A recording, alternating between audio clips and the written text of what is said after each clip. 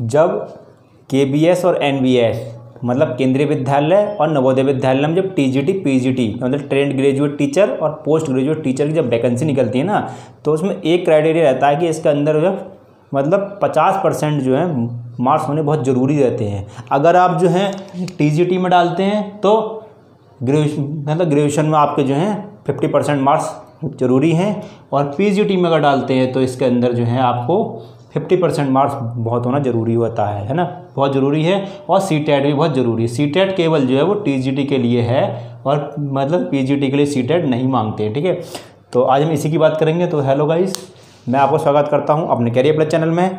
तो आज में हम बात करेंगे कि क्या यूपी टीजीटी पीजीटी में भी जो है, क्या ये चीज़ रूल्स लागू होंगे या नहीं होंगे, इसी की बात कर लेते हैं। और जो अभी मतलब आठ तारीख के दिन पीछे मीटिंग हुई थी, ठीक है? तो उसमें मतलब मीटिंग में क्या क्या शर्तें थी?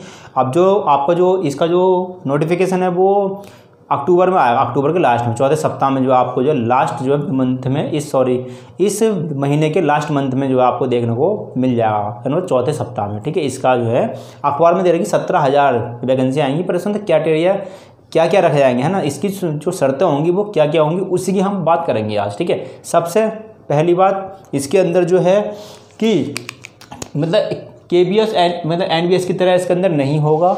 इसमें मैं आपको क्लियर कर दूँ, इसके अंदर जो है फिफ्टी परसेंट मार्क्स ज़रूरी है। पर वो किसके लिए ज़रूरी? है मैं आपको बताता हूँ।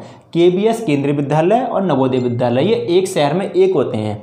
है ना? के बी एस भी एक शहर में एक होता है नवोदय विद्यालय एक शहर में एक होता है ठीक है? है ना? तो अभी आपने देखा होगा कि कॉन्ट्रैक्ट बेस पे निकली थी साढ़े सत्ताईस हज़ार। मतलब कॉन्ट्रैक्ट एक साल की संविदा पे निकली थी तो साढ़े सत्ताईस हज़ार रुपये इसको पीजीटी वालों को देंगे और टीजीटी वालों को साढ़े छब्बीस हज़ार रुपये इसके लिए सी बहुत ज़रूरी है, इसके लिए सी ज़रूरी नहीं है। केवल वेब मतलब आपके फिफ्टी परसेंट मार्क्स होने ज़रूरी होते हैं, जिस सब्जेक्ट से आपने भरा है। माना आप इंग्लिश के टीचर बनना चाहते हैं तो आपके पास पीजी मतलब एमए में जो है फिफ्टी परसेंट मार्क्स होने बहुत ज़रूरी हैं। इस तरह आपने फिजिक्स केमिस्ट्री में भरा तो उसके अकॉर्डिंग जो है फिफ्टी परसेंट मार्क्स होने ज़रूरी है। इसमें सी है, इसमें सी नहीं होता, ठीक है? तो हम बात कर लेते हैं कि क्या यूपी टीजीटी पीजीटी जो अभी आठ तारीख को जो मीटिंग हुई थी, क्या इसमें भी ये चीज़ क्राइटेरिया है या नहीं है? उसी की हम बात कर लेते हैं, ठीक है? तो सबसे पहले मैं आपको बता दूँ जो अभी आठ तारीख को जो मीटिंग हुई थी, उसमें क्या क्या बदलाव हुए? पहली बात, इसमें जो है, इसके अंदर, इसमें इस तरीके से बाउंडेशन नहीं होती है। चाहे अगर किसी के थर्टी थ्री परसेंट मार्क्स हैं, वो भी इसमें फार्म अप्लाई कर सकते हैं U P UP TGT PGT में। और अगर सत्तर परसेंट वाले के मार्क्स भी इसमें अप्लाई कर सकते हैं, और जिसके फोर्टी एट है फोर्टी सेवन है, वो वाले भी जो हैं, इसमें टीजीटी पीजीटी में अप्लाई कर सकते हैं, ठीक है? इसका जो रहता है वो क्राइटेरिया क्या रहता है मैं आपको समझा देता हूँ। इन, इनका जो जैसे टी जी टी इन्हें कहते हैं trained graduate teacher Uttar Pradesh में T G T P G T ये ये होता क्या चीज़ है? ये होता है इंटर कॉलेज में जो गवर्नमेंट टीचर होते हैं ना तो वो सरकार के अकॉर्डिंग रखे जाते हैं जो अशासकीय विद्यालय रहते हैं ठीक है? उनके लिए जो एड जैसे कहते हैं एडिड कॉलेज ठीक है? तो वहाँ पे अगर टी जी टी की निकलती हैं तो ये आप टी जी टी के लिए जो है केवल टेंथ क्लास पढ़ाते हैं केवल टेंथ क्लास कहने मतलब क्या? आपको जो है सिक्स से लेकर टेंथ क्लास तक मिलती हैं बस। ठीक है, ये तो हो गया हमारे टी में। अगर आप टी के टीचर बनते हैं तो आपको इंटर कॉलेज में टेंथ मतलब सिक्स से लेकर टेंथ क्लास पढ़ाने को मिलता। है पी के अगर आप बनते हैं तो डायरेक्ट इंटर क्लास पढ़ाने को आपको मिलती है। मतलब फ़र्स्ट ईयर इंटर ठीक है? इसमें जो है नाइन टेंथ एलेवन ट्वेल्थ इसमें नहीं आपको दिया जाता, इसमें दिया जाता मतलब पीजीटी में। तो इसमें अब जो, जब अपॉइंटमेंट जो होंगे वो अपॉइंटमेंट कैसे होंगे? सबसे पहली बात, इसमें इंटरव्यू ख़त्म। टीजीटी में जो है इंटरव्यू ख़त्म हो चुका है। मैं आपको क्लियर बता दूँ, ठीक है? टीजीटी जो है ट्रेंड ग्रेजुएट टीचर इसमें जो है, ये लिखा हुआ इंटरव्यू जो है, वो ख़त्म कर दिया गया सामने लिखा हुआ है इंटरव्यू जो है ट्रेंड ग्रेजुएट टीचर में ख़त्म कर दिया गया है, ठीक है? अब केवल जो है और एक बात और है, इसमें जो एम और पीएचडी वाले जो अप्लाई करते थे एम वाले जो थे और बी वगैरह जो थे तो इसमें उनके नंबर जुड़ते थे। माने एम के आपके दो नंबर हो गए, दो पीएचडी के हो गए एन के हो गया एक नंबर है ना? और आपका एनएसएस का हो गया, है ना? तो ये भारत समाप्त। उसकी कोई ज़रूरत नहीं है, क्योंकि उसमें बताया गया, केवल जो है रिटर्न एग्ज़ाम केवल जो है जो रिटर्न एग्ज़ाम होगा, उसके अकॉर्डिंग जो है, इसमें रखा जाएँगे, ठीक है? तो पीएचडी और एमएड वाले तो भैया वो तो ये समझे ना कि हमें जो है एक्स्ट्रा नंबर मिल जाएँगे, ठीक है? तो वो बिल्कुल वो ऐसा ना समझें कि इसमें जो है टीजीटी और पी इसमें जो है पीजीटी में इंटरव्यू हैगा तो इसमें आपको हो सकता है कि इसका बेनिफिट आपको मिल जाए एम और पीएचडी का, ठीक है? पर टीजीटी में जो है ट्रेंड ग्रेजुएट टीचर में जो है एम है ना? आपको एम और आपको पीएचडी ठीक है? पीएचडी वालों के लिए जो है कोई बेनिफिट नहीं है, ठीक है? डायरेक्ट जो है रिटर्न एग्ज़ाम होगा रिटर्न एग्ज़ाम की मेरिट बनेगी और इसमें अकेडमिक मेरिट भी नहीं लगेगी, ठीक है? और दूसरी बात, इसमें जो पेपर जो आएगा आपका, जो इस साल जो सिलेबस जो चेंज हुआ, जो अभी जो चेंज हुआ सिलेबस में तो उसमें क्या है? एल ग्रेड की तरह ही होगा। एल ग्रेड में अगर आपने एग्ज़ाम दिए होंगे तो एक सामान्य, एक होता है, हमारा इसका दो पार्ट होते हैं, ठीक है?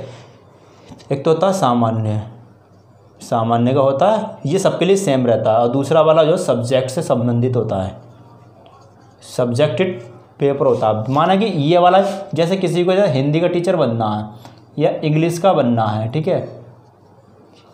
सही है? जैसे किसी को मैथ का बनना है, आपका साइंस आपके जो साइंस अब इसमें क्या, इसमें तो पहला जो सब्जेक्टेड क्या है, पहला वाला सामान सबका रहेगा ना, रहेगा। जो आपके जो तीस क्वेश्चन आएँगे, ये सबके लिए होंगे तो बराबर बराबर होंगे, ठीक है? ये तीस क्वेश्चन जो होंगे, सबके लिए सेम होंगे। और जो ये सब्जेक्टेड वाला जो होगा, ये जो अपने अपने विषय के जो है, वो 120 क्वेश्चन आएँगे। माने 120 इसमें केवल हिंदी हिंदी के ही होंगे, ठीक है? इसमें इंग्लिश वाले में इंग्लिश इंग्लिश के ही होंगे। मैथ वाले में 120 क्वेश्चन इनके ही होंगे। साइंस वाले 120 क्वेश्चन मतलब सब्जेक्टेड सामान्य वाला जो है, इसमें सेम रहेगा। सामान्य में क्या गड़बड़ रहती है? सामान्य में क्या है कि इसके अंदर आपकी रीजनिंग आएगी मैथ आएगी, सामान्य जो सामान्य अंग्रेज़ी होगी, जिसे ग्रामर कहते हैं, वो भी आएगी इसके अंदर, इसके हैं, इसके अंदर, और आपका बाल विकास भी आएगा, है ना? इसके अंदर तो मैं आपको समझा दूँ, इसमें जो है सामान्य वाले में बाल विकास हो गया रीजनिंग हो गई मैथ हो गई साइंस हो गई, और कुछ जो है करंट अफेयर भी क्वेश्चन पे पूछ ले जाते हैं, इसके अंदर पूछे जाते हैं, और सब्जेक्टेड ये सब्जेक्ट वाला जो है, ये सब के जो एक सौ बीस क्वेश्चन होंगे, सामा। ये सबके सेम होंगे। तो एल ग्रेड के पैटर्न पे ही होगा। ये इस साल से सिलेबस चेंज हुआ। अभी तक जितने भी एग्ज़ाम हुए हैं 2013 से लगा लो। 2013 में निकला था इसका विज्ञापन। 2000 जो है, मैं आपको लिख देता हूँ। 2013 में आया था इसका। फिर जो है, फिर 2016 में, अब 2020 में निकलेगा। ठीक है? ये क्या बता रहा हूँ? वैसे तो इसका तो खैर उन्नीस सौ अट्ठानवे और निन्यानवे से बोर्ड बना हुआ तब से खैर टी जी हो रहा है। है ना? तो फ़िलहाल जो अभी जो जो लेटेस्ट जो इसमें इंटरव्यू चल रहे हैं ना वो इन्हीं के चल रहे हैं। अभी 2016 वाले और 13 वाले, अभी कुछ वैकेंसी कोर्ट में अटकी रही थी तो 2013 वालों का भी आ सकता है, ठीक है? दूसरी बात, इसमें वन अपॉइंट थ्री की निगेटिव मार्किंग रहेगी एल ग्रेड की तरह, ठीक है? एल टी ग्रेड की तरह भी इसमें निगेटिव मार्किंग रहेगी, ठीक है? और इसमें क्राइटेरिया वही रहेगा चालीस पैंतालीस वाला। मतलब जिसके है जिसके साठ नंबर हैं, वही चालीस परसेंट वाला, इसमें जो है चालीस और पैंतालीस वाला हिसाब चलेगा। मतलब जिसके साठ नंबर होंगे S C O B C के लिए तो इसके लिए साठ होने विकलांग कैटेगरी साठ, और जिसके जो है, इसमें जो है, इसमें साठ नंबर और बाकी जो है, पैंसठ नंबर। ये सत्तर पचहत्तर नंबर। कहने का मतलब ये है कि इसमें जो अभी आपने देखा कि उनहत्तर हज़ार भर्ती चल रही है, चालीस पैंतालीस वाला, चालीस पैंतालीस का, और साठ पैंसठ की लड़ाई चल रही है। तो ऐसे ही कहने का मतलब ये एल ग्रेड में भी जो है, वो चलता है रूल्स है, ठीक है? तो ऐसे ही जो है, आपने देखा होगा, ये बहुत हेल्पफुल वीडियो है ये, ठीक है? तो इससे जो है, आप जो है वो ज़्यादा से ज़्यादा शेयर कीजिए, ठीक है? और ज़्यादा से ज़्यादा इसको शेयर कीजिए और इसको जो है वो कीजिए। तो तो ठीक है? तो अगर आप चैनल पर हमारे नए हैं तो इस चैनल को आप सब्सक्राइब कीजिए बेल आइकन प्रेस कीजिए जिससे कि जैसे विज्ञापन आएगा, सबसे पहले हमारे चैनल के माध्यम से आपको इन्फॉर्मेशन दी जाएगी, ठीक है? और इसमें किस तरीके से तैयारी करेंगे कौन कौन सिलेबस रहेगा, उसकी पूरी जानकारी आपको मिलेगी इसी चैनल के माध्यम से, ठीक है? Please subscribe my YouTube channel career plus thank you very much